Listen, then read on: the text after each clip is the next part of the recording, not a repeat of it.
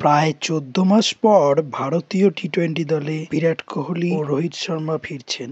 হার্দিক পান্ডিয়া ও সূর্যকুমার যাদবের অনুপস্থিতিতে প্লেইং ইলেভেনে কিছু প্লেয়ারকে আবারও সুযোগ দেবে ভারতীয় দল। ওপেনিং এ ইশস্বী জাসওয়াল ও অধিনায়ক রোহিত শর্মা বিরাট কোহলি নাম্বার তিনে, নাম্বার চারে সুযোগ পেতে পারেন শুভমান গিল ও নাম্বার পাঁচে wicket keeper batsman Sanju Samson.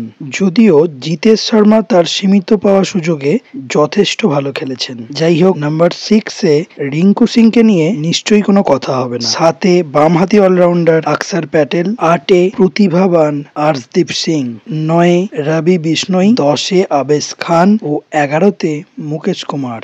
আশা রাখি দু হাজার চব্বিশ টি টোয়েন্টি বিশ্বকাপ স্কোয়াডে ভয়ঙ্কর জুটি বুমরা সামি ও সিরাজ ফিরবেন। সাথে ভরসাযোগ্য কে এল রাহুল, হার্দিক পান্ডিয়া ও সূর্যকুমার যাদব। শীঘ্রই ফিরছি দু হাজার চব্বিশ টি টোয়েন্টি বিশ্বকাপের সম্ভাব্য দল ও শক্তিশালী একাদশ নিয়ে সাবস্ক্রাইব করে সঙ্গে থেকো ভিডিওটি ভালো লাগলে একটা লাইক করো এবং কমেন্টে নিজের মতামত জানিও।